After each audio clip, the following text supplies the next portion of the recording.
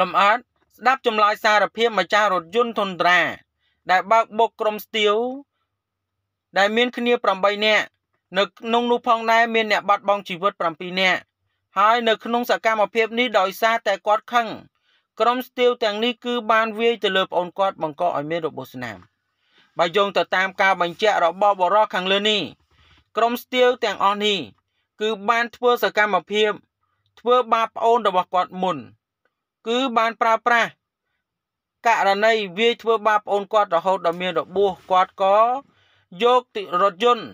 យកប្អូននឹងទៅពេទ្យនៅក្នុងសកម្មភាពមួយនេះចៃដន្យក៏ជួបក្រុមជនទំនើងទាំងនេះ នៅតាមផ្លូវដោយជីម៉ូតូ4គ្រឿងគ្នា8នាក់គាត់ឃើញបែបនេះជាឱកាសល្អគាត់ក៏បំបុកឲ្យប្រែក្លាយរឿងនេះទៅជាគ្រោះថ្នាក់ចរាចរណ៍តែម្ដង សកម្មភាពមួយនេះបើយោងទៅតាមការបញ្ជាក់គឺរហូតដល់មនុស្ស7នាក់បាត់បង់ជីវិត នៅក្នុងសកម្មភាពមួយនេះម៉ូតូទាំងអស់រងនឹងការខូចខាត ហើយរថយន្តក៏បានផ្ទុះខាងមុខឆេះតែម្ដង ហើយម្ចាស់រថយន្តក៏បានរត់គេចខ្លួនបាត់ស្រមោលយ៉ាងណាក៏ដោយបើយោងទៅតាមការបញ្ជាក់បងប្អូនប្រជាពលរដ្ឋដែលឃើញក្រុមជនទំនើងទាំង8នាក់ដែលមាន G4 ម៉ូតូនេះ តែងតែជិះជ្រេពេញផ្លូវបង្កហានិភ័យយ៉ាងខ្លាំងនិងវឹកវរដល់សង្គមជាពិសេសបង្កការអុកឡុកនៅតំបន់ផ្សេងផ្សេងនិងមិនត្រឹមតែប៉ុណ្ណោះការបង្កការអុកឡុកហើយតែងតែបង្កនៅការលំបាកដល់ឪពុកម្ដាយជាដើមឥឡូវនេះករណីសំដូចបំណងគឺជារឿងមួយគួរឲ្យភ្ញាក់ផ្អើលមែនទែនដែលករណីម្ចាស់រថយន្តធុនត្រាគាត់បានឆ្លើយសារភាពត្រង់ត្រង់តែម្ដងនោះ ក្រុមស្ទៀវមួយក្រុម ត្រូវបានរថយន្តម៉ាកសេរីទំនើបធុនត្រា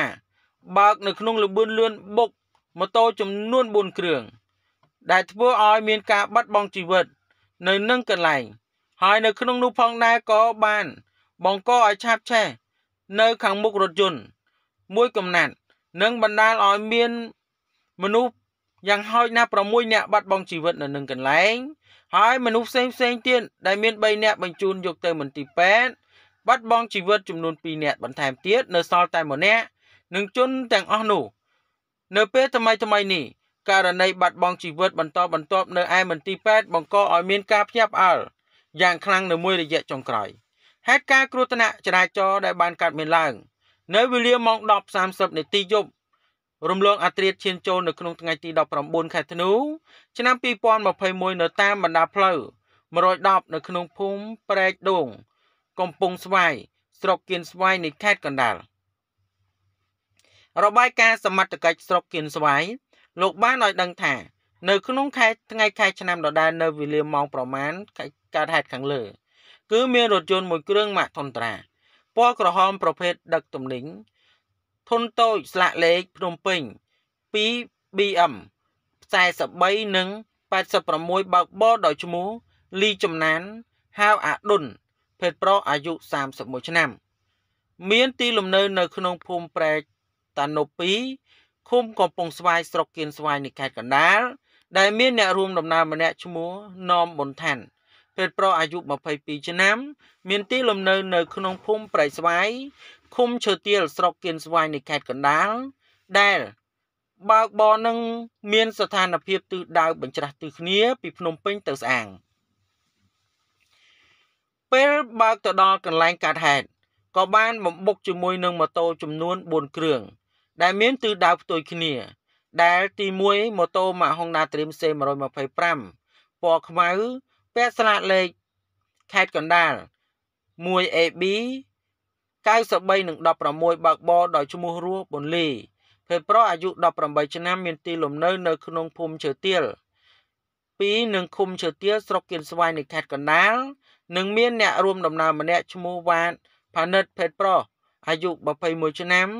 មានទីលំនៅនៅក្នុងភូមិប្រៃថ្មីសង្កាត់ប្រៃថ្មីខណ្ឌច្បារអំពៅនៃរាជធានីភ្នំពេញទី2មានឈ្មោះ ម៉ូតូម៉ាក Honda Dream C125 ពណ៌ខ្មៅពាក់ស្លាកលេខកណ្ដាល 1AF 56និង92បើកបរដោយឈ្មោះផុនពេរ៉ាភេទប្រុសអាយុ21ឆ្នាំ មានទីលំនៅនៅក្នុងភូមិឈើទាល2ឃុំឈើទាលស្រុកគៀនស្វាយនៃខេត្តកណ្ដាលមានអ្នករួមដំណើរម្នាក់ឈ្មោះព្រំមេសាភេទប្រុសអាយុ18ឆ្នាំមានទីលំនៅនៅក្នុងភូមិប្រៃស្វាយឃុំជើទៀលស្រុកគៀនស្វាយនៃខេត្តកណ្ដាល និងទី3ម៉ូតូម៉ាក Honda Dream C125 ពណ៌ខ្មៅពាក់ស្លាកលេខកណ្ដាល1វាយ59និង23បើកបរដោយឈ្មោះ